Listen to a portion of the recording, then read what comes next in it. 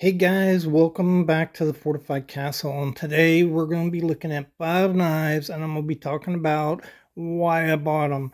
So uh, just a little quick video, little little little more entertainment and fun uh, to talk about this because sometimes I don't have a clue why I buy these knives. I just buy them.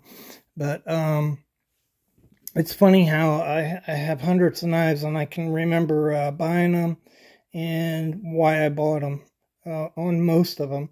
So this is a large knife, three and uh, seven eighths, and it's uh, leader actually is the name of this leader, and um, can't trace the name of that knife. Uh, I saw on a blog. Um, a guy said colonial bought leader out and it looks like a colonial so you know maybe so but this is a well-made knife and uh, I bought it because it has this uh, simulated stag on it. At the time, I didn't have an example of that, and I actually got this knife in a lot, so uh, it it only cost me like three dollars if you divide uh, the knives in a lot into the amount that I paid for it. So just um, you know, it's actually a pretty good knife. Uh, besides this hideous uh, simulated stag on here.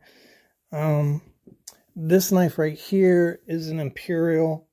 And again, I got this Imperial in a lot of knives. I was going after uh, two other knives, and this knife came along with it. But um, this knife dates to about 1962, and um, it's in real good shape. Actually, uh, you can you can still see remnants of the original mirror polish on this knife and um, it looks to me like the knife was chromed. If you can see that, you can see the chrome coming off right there. And so I think this knife originally was chrome plated, the blades, but um, excellent shape. Otherwise, uh, really cool little knife. Um, I don't mind having it. You can see I kept it. Um, this knife right here, I got in an antique shop. It dates to 1986 it's a case. So I I had never seen a case advertising knife, and this is an advertising knife that uh, Case produced for this company. Uh, you can see the Case tang stamp right there, and this knife is three and an eighth inches long, and it is a brute. Look at the size of those uh, liners on this knife.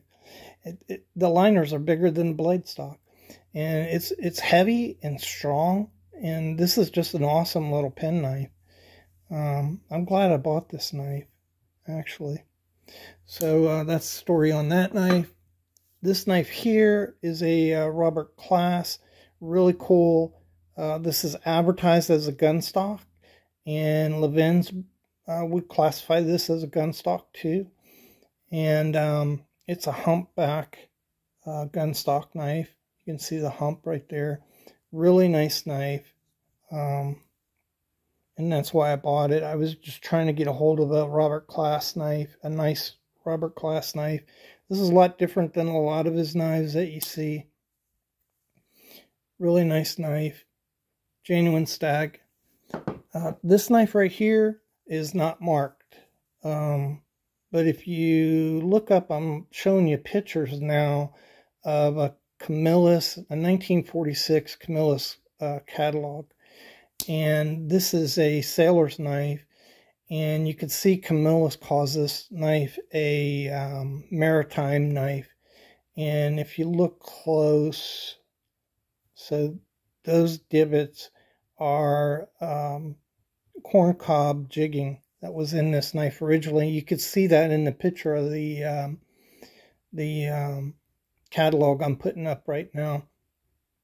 And um, it's a cool rope knife. I don't know what the age of this knife is. I would guess uh, probably um, late 40s, early 50s probably on this knife.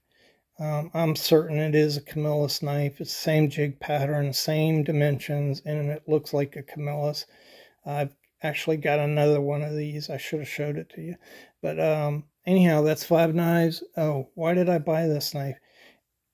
man, it looks cool, doesn't it? It's just a cool old rope knife. It was inexpensive. Nobody wanted this. And so I run a home for wayward knives and, um, you know, knives that nobody else wants. You know, I take them into the home, I care for them, uh, make sure that they're uh, well fed, rested, and secure. And so uh, that's kind of what I do. I, I run a home for uh, wayward knives. Um, so I hope you enjoyed the video.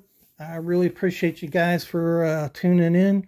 If you like the video, like it. And if you would like to see more content like this, go ahead and subscribe. Remember, you'll know the truth. The truth will set you free. And thanks so much for watching the video.